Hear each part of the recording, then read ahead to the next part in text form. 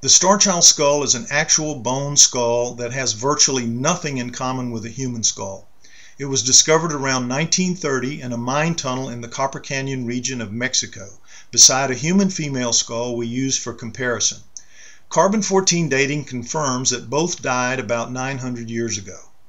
The Starchild skull's physical traits and its genetic structure are so extensively different from a normal human, at a bare minimum it will be considered a new species and potentially even an extraterrestrial alien. If the Starchild had ever been cradleboarded, even once, the angle of the skull's downward tilt would be so extreme it would have choked to death in minutes and never would have reached adulthood, which we know it did.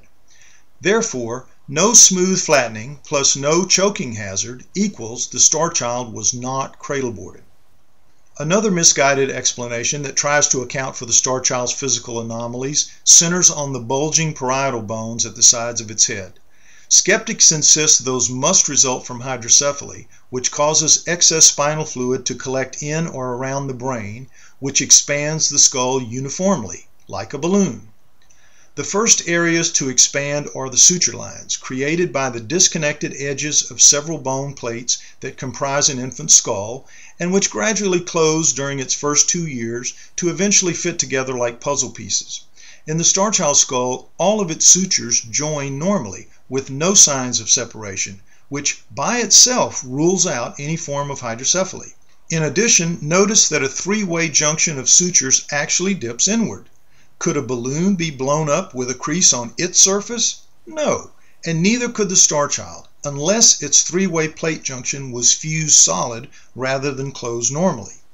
This is a standard CAT scan showing none of its cranial sutures were fused, a fact Dr. John Baczynski, a radiology expert, confirms. An inward crease plus no fused sutures equals the star child did not have hydrocephaly. The most recent favorite among skeptics trying to explain away the Starchild is progeria, a highly complex, inevitably fatal condition that causes infants to grow old at an extremely accelerated rate.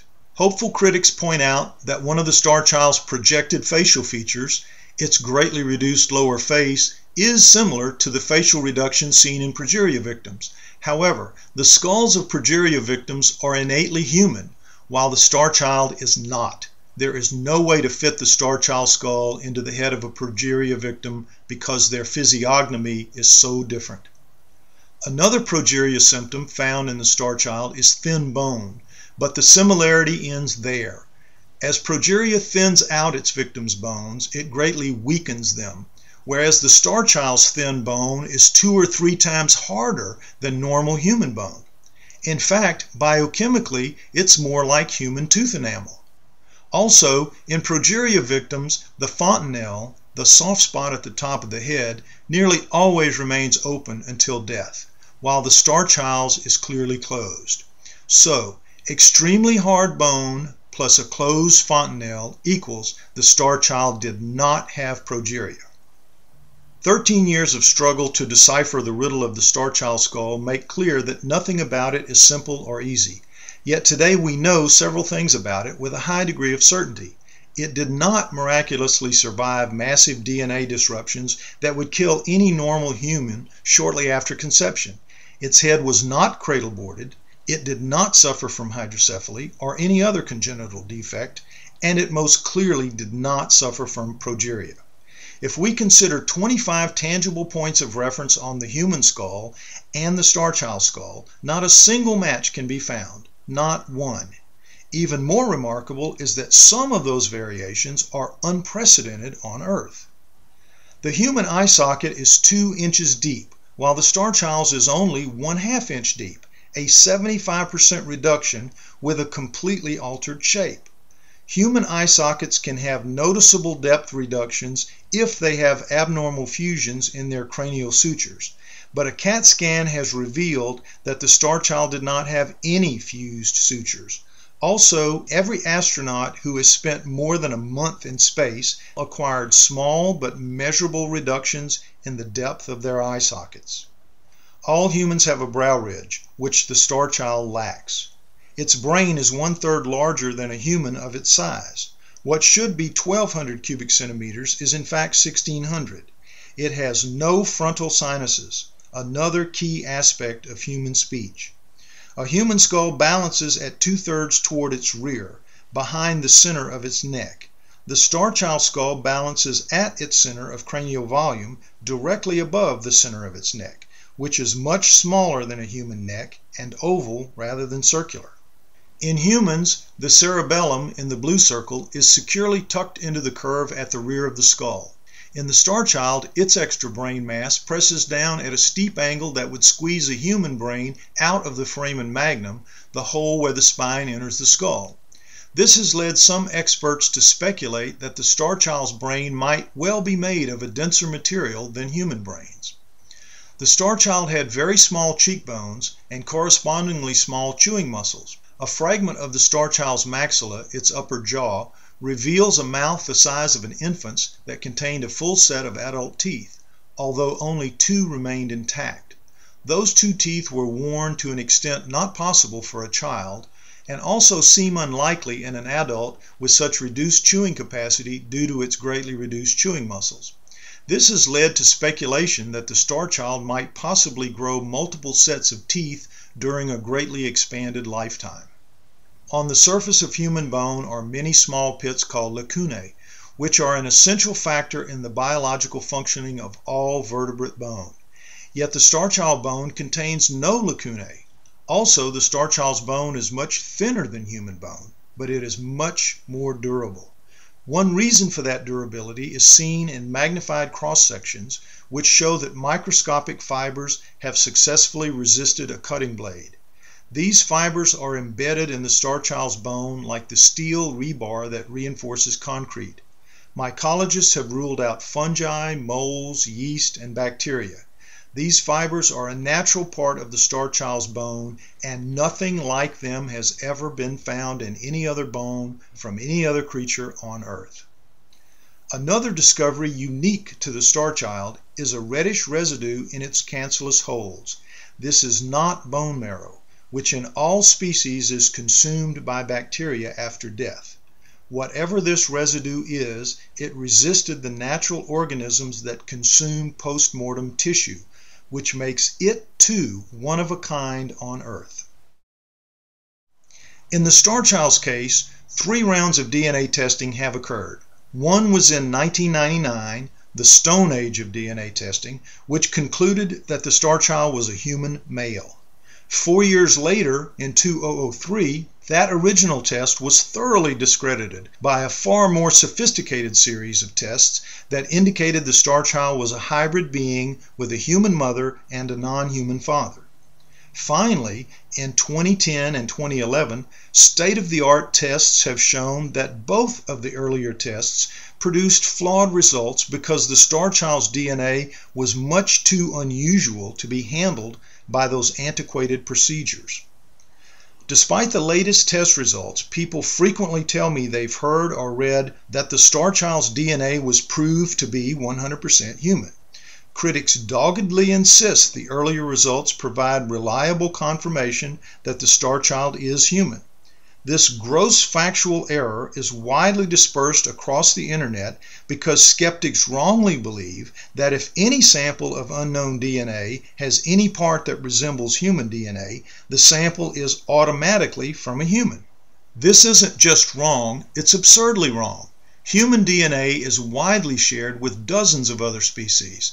Chimps share 97% of their genome with humans, gorillas 95%, rats 70%, mice 65%, and even fruit flies share 60%. Therefore, a few strings of base pairs of star child DNA that happen to match human DNA does not mean it's entirely human, not by a mile. One absolute truth that everybody everywhere can count on is that no DNA recovered from the star child thus far actually proves it is 100% human. To grasp the basics of this debate, we need to understand that all humans have two types of DNA. Nuclear DNA comes from both parents and gives us our individuality. Mitochondrial DNA comes from our mothers only, and it allows each of us to be compared to other humans who share certain genetic affinities. The initial recovery of the star child's nuclear DNA produced several dozen fragments containing more than 30,000 base pairs, the steps in the twisted ladder of DNA. In half of those fragments, the base pairs could be matched exactly to similar fragments in the human genome. However, the other half could not be matched to any currently known species. These results are preliminary, requiring much repetitive testing for absolute verification and if they were the only unusual results, they would be interesting but not totally compelling. However, they're far from the only unusual results. In humans, the 16,569 base pairs in our mitochondrial DNA carry a specific upper limit of variations, 120. Thus, every human has 120 or fewer variations in their mitochondrial DNA. Neanderthals have around 200 variations. The new prehuman, Denisovans, have 385. For every species, these numbers are solidly established, and they change extremely slowly over very long periods of time. With the star child's mitochondrial DNA, four recovered fragments add up to 9.5% of the human total. They contain 93 base pair variations. If we extrapolate 93 out to 100%, it creates a statistically acceptable bracket of 800 to 1,000 base pair differences in the star child compared to a human's 120 maximum. Thus, these two genomes cannot remotely be related. They're apples and lemons. Moving the star child even farther from humans is the recent recovery of a 211 base pair fragment recovered from the star child's FOXP2 gene. In humans, the FOXP2 gene is essential for formation of our brains, numerous internal organs, and our ability to speak. This all-important gene contains 2,594 base pairs, and in every normal human, each of those base pairs is absolutely identical. Here in blue we see the 211 base pair fragment of human FOXP2 compared to the star child's fragment in black along with fragments of several other species. The key things to notice here are the red letters among the star child's fragment, each of which denotes a single base pair variation. There are 56. Remember, normal humans have no variations in their entire FOXP2 gene and certainly none in the 211 base pair fragment found in the star child. But rhesus monkeys do have two such variations, mice 20, dogs 27, elephants 21, opossums 21, frogs 26. And then we have the star child's towering 56. Remember, this FOXP2 result, like the previous two, is partial. All three require additional DNA testing to establish absolute confirmation. Yet because all three are so highly anomalous relative to normal humans, we can be confident they will prove the star child's genome bears no relation to the human genome. So sadly, Lloyd Pye died from cancer long before I opened this channel. I had been following him for a decade, all his work. I even bought his main book, The Star Child Project, which I have shown you all my books book collection in a video. I'm not getting into that here. I'm not even going to speak on my only UFO, what I perceive to be some type of UFO craft or something, whatever it was. Some of you know about it. I mentioned it a few years ago.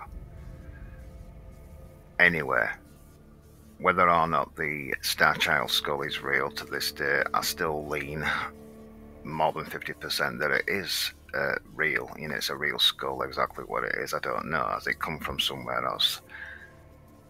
I can't really say yet, but it is just a, one of those artifacts that I still do believe in because, you know, most of this stuff is in fact fake, isn't it? We know what the thing looks like and where that comes from. It comes from TV. Uh, but all these little ones, in fact, I made a video showing you the one from L.A. Marzulli, somebody else that I've got some books from just turned out to be a fetus that had died inside its mother. Well, its, his mother died, uh, but anyway, it was a fetus. But this one here recently got revealed to be a fake. The Peruvian aliens, um, when they performed a CAT scan on it. It was made up of bolts and screws and all sorts. I mean, they should have known it was fake just by glancing at the thing. Yeah, keeping his head on his shoulders, keeping our feet firmly on the ground when looking at any of this stuff. There's so much garbage and lies in this world. There is no truth.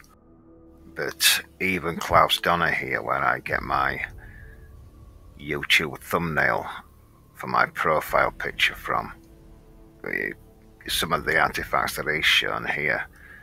I mean, what would you really expect them to be digging into a site and pulling out the what's on the US dollar with the 13 step pyramid and the eye at the top?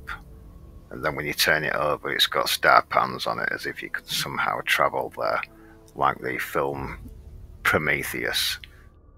But I came across a site recently and I will put the name up for you, but I'm telling you, you will not find any information on it beyond anything that I can find. Uh, and the images that have been shared to Google, there's seem to have all come from the same people, the same visit. And every single image that seems to have been shared, there's not too many, probably about 10, uh, but the largest one is only about, let's say, about 300 to 200 wide, so that small that you cannot zoom in on them whatsoever, which is a, another red flag. So there's no detailing on, on this thing whatsoever, uh, but the thing just looks ridiculous. It does look like it's been carved in modern times. I can't even tell if the thing has just been generated on some app